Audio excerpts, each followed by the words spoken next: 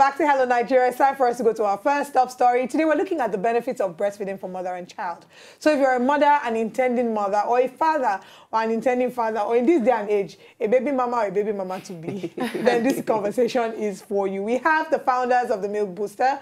On my immediate left, we have Dr. Chinenye Obiwanne. Thank you very much for joining Thank us. Thank you very much. And on my extreme left, we have Chibueze Obiwanne. Thank you so much for joining us. Thank you very much. So both of you are the founders of the Milk Booster. My first question is, what is your business with regards to milk as a man? Usually we think, oh, it's the woman, it's a woman thing because the woman is the carrier of the milk. Why were you interested in starting the Milk Booster?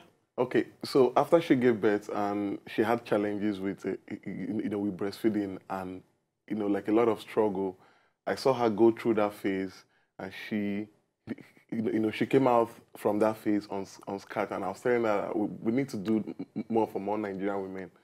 And this is how I landed inside though. And we need to mention that that is not her husband, by the way. That's her brother. So her brother saw the mm. challenge and decided to do something about it. But that's it. really good, though. That's yeah. really good. What were the challenges that you faced? Because my sister gave birth a year ago, and she also had some serious challenges with breastfeeding.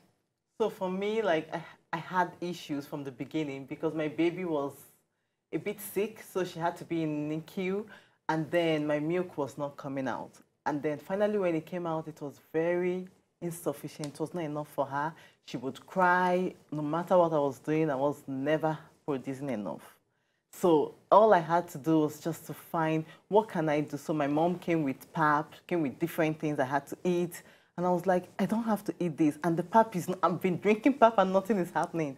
So I had to come up with other solutions, you know, to get that milk and feed her and make sure she's gaining the adequate amount of weight.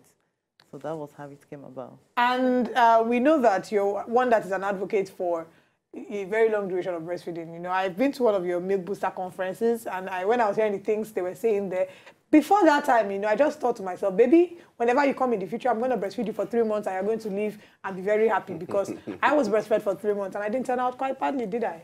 No, you didn't. Okay, so how long did you end up breastfeeding your child? Are you even still breastfeeding? Yeah, she's still yes, breastfeeding. Ah. I'm still breastfeeding. And she's gonna be two in two months time. So yes, I'm still breastfeeding my toddler. Are you scared? And no, I'm um, just. I'm... wait, wait, wait, wait. She's she's about to turn two. Yeah, she's yes. about to turn two years. Okay, I really want to know why. okay, so breastfeeding and the breast milk is still beneficial for your toddler, not just for an infant. So and it goes a long way because as your toddler, they get sick as well. So if you're breastfeeding and your child is sick, your body produces like a lot more antibodies to help fight the infection, and then they get like they, they get better quick, quicker than if they didn't have that opportunity. And then it still helps with their brain development. Most of the brain growth happens within the first two years of life. So you still need that amount of milk. Your baby still need all that milk to that age because the longer they're, they're breastfed, the more the benefits that extends to adulthood, you know, they get it. So when your child is breastfed up to toddler age, that obesity is reduced as an adult, diabetes, cardiac problems, like the more they are having lower risk. And then as well, like for your baby girl, you're reducing her risk of breast cancer the longer you're breastfeeding. And for me as a mom, like I'm breastfeeding for two years, I'm reducing the risk of breast cancer, ovarian cancer, all those, you know, female reproductive cancers that women are susceptible to. Now, this is a very challenging conversation because now from the perspective of a man, I would think that there's always this battle at some point for you know, who owns that part of the woman's body between the baby and the father. So you find that the man, I've seen situations where in marriages, the woman still wants to breastfeed her child for longer, but the husband is saying to her, why do you want to continue? This child is grown up. This child is almost one. You need to stop. And I find that I think women get addicted to breastfeeding at some point and they've, they've built a bond with the child that they don't want to let go of. Chibu, as a man yourself, how would you be able to convince other men on the need to allow their wives? What would you think are some of the reasons that, you know, how would you convince another man really to allow his child breastfeed a lot more longer than they would have initially intended? Okay, so I think first there's a misinformation that the breast is to be sexualized, that, you know, you know, that part of a woman's body that for whatever reason. But the breast is actually food for the baby it, it, it is actually food for the baby. So we are trying to change that whole concept because it's all in the mindset. If they start to understand, there's nothing inside it, it's just tissues. And it produces food. wow. I, I, I, like that you're mentioning that as yeah. a man But I know that that would be an baby. argument for another day. Yes, and that's why we're just out there trying to change. Okay, now, um, like um, we are even encouraging dads to come on board for the for, for all the conferences that we're trying to have because it's going to be a session to educate them, and it's going to be like changing all the concept they've had about breastfeeding. Because if they start to understand the advantages that are attached to a woman doing this, they will have that. They'll, they'll be very much so open to it that okay, come on, go and do it. Hmm. Okay. Interesting. Now, some people cannot breastfeed at all. Some people don't actually get the opportunity. They just cannot produce milk, and therefore they use formula. What are your views on formula? And do you think that formula also carries the nutrients that the child needs, or is the child being deprived of something if they don't have the natural milk breast breast milk? Sorry, wow. Okay, so first off, like, it's only about 5% of women that are actually not able to, not that they can't produce nothing, but they cannot produce sufficient milk. So these are side mothers that had like breast cancer and had have double mastectomy. So other than that, many women are able to produce milk, just that we don't have the knowledge that we need to be able to get through the hurdles that come with breastfeeding because yes there are a lot of hurdles and it varies with different women so for those ones that cannot produce sufficient milk i always advise if the mom cannot provide milk for the baby the next best option is the donor milk donor milk is when another woman donates milk so there are proper ways like that the milks are pasteurized and then given to another baby. Aside from that, so this the, so it's for mother's breast milk, expressed milk from mother, donor milk from another mom before formula. Why is that? So because the benefits of breast milk outweighs whatever the formula companies can come, come up with. So for many years, if you go through the history of formula companies, you find that when we found out there was nucleotides in breast milk, they really created a huge wave around it, and everything was like just promoting nucleotides added to formula. At the end of the day, the nucleotides in formula are not the same they're not the same way. They don't respond the same way for why compared to the one in breast milk. So when you find that formula is okay, but it does not have even half of what is in breast milk. Breast milk has stem cells, have living cells, have antibodies. Those things are not manufactured. They can't be produced in a factory. So that's why we have to exhaust all these options before we come to formula. Because at the end of the day, breast milk remains the best. All right, so Chibu, let's talk about some of the lifestyle habits that can prevent a woman from um, producing sufficient breast milk for her children, for her baby. Okay, so here in Nigeria, um, you know, recently, you know, the Minister of Labour actually he he increased the the Duration for maternity leave. EF to four months, and that was a very welcome de- development because I find out that um, due to the work schedule in Nigeria, and it affects supply. You know, some moms don't have you know conducive environment at work for them to be able to express milk. So the duration from when they go to work to when they come back from work, being in traffic and all of those things, it affects their supply. And then some there is this um, okay, okay, there is this myth that you have to eat more to be able to breastfeed more. That is is not true. You just have to eat what your body needs. Because you know, you know, I usually tell them this that a breastfeeding mom that is able to pump milk and able to, to, to have milk available for her, for her baby is like a gym that is not going to the gym. She is burning calories at the I mean, same it's a time. classic example. Yeah, this is a classic example. so she's like a gym that is not going to the gym. So she's just having food for her baby and she's also maintaining a healthy lifestyle. I think since you've already started the conversation about myths surrounding breastfeeding, let's jump on it. What are some other myths surrounding breastfeeding? I've heard people say stuff like, I don't want to breastfeed my child because I do not want my breast to sag. Is it true? And what are the other myths surrounding breastfeeding that you can remember? So the one about sagging is a very sensitive thing, and I find many moms like it's something they always holding dear to themselves.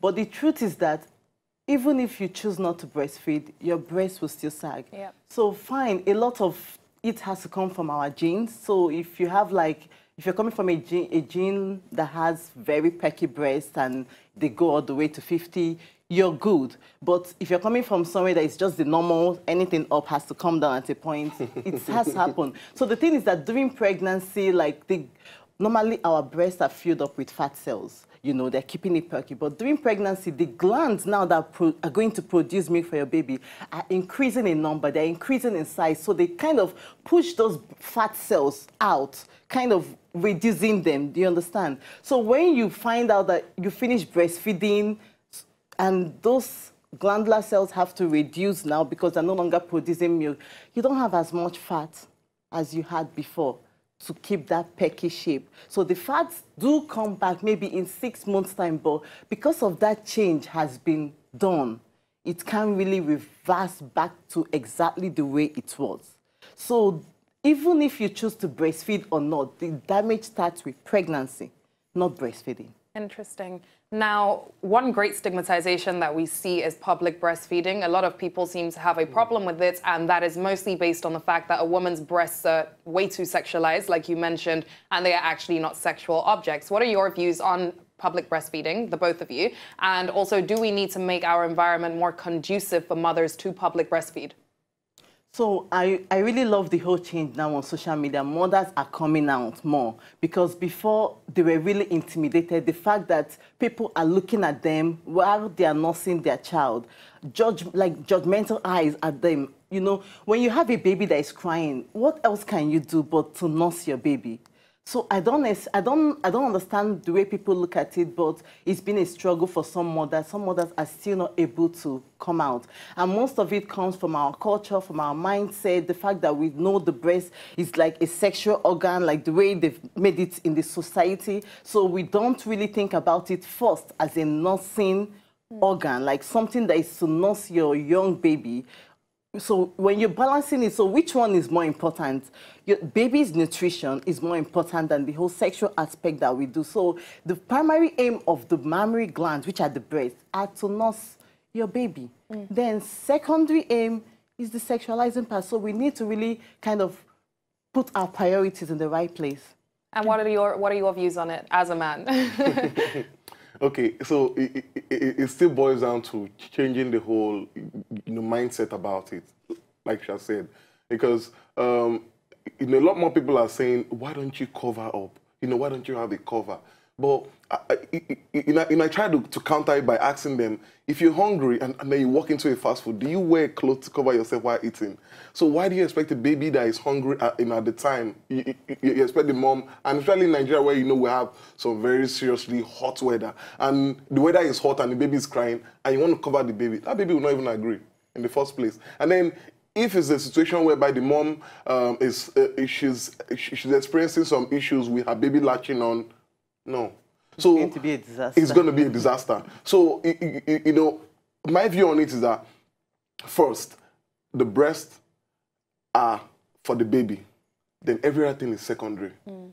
It's so, like sometimes you just want to go out there and literally just be like, guys, it's just breasts, it's just nipples, calm down. It's just tissues inside, yeah. and the baby needs to eat. There's food in there, and the baby needs to eat. That's okay. All right. And I'm glad that you mentioned this. There's so much that we need to talk about, but because we do not have enough time to discuss this, we know you've organized the conference, the World Breastfeeding Conference, and it happens every year. You have another edition this year. Yeah. Tell us about it. Okay, so we have the one for this year starting on the 1st of August to 7th of August, which is usually the time frame for World Breastfeeding Week.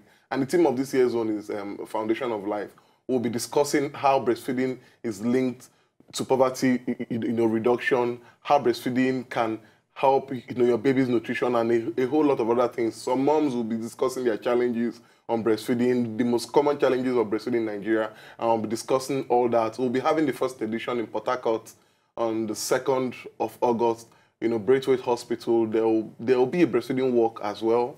And we'll, we'll, we'll be having the second one on, on the 4th of August here in Lagos at um, Grand Junction Ballroom in Landmark Towers in VI. We will be having a breastfeeding walk from somewhere in Legalia or in the to just show this is what we believe in so that we're encouraging moms to come out in their drones. we have t-shirts available for Only everybody moms? to wear. Yo, everybody's, everybody's welcome.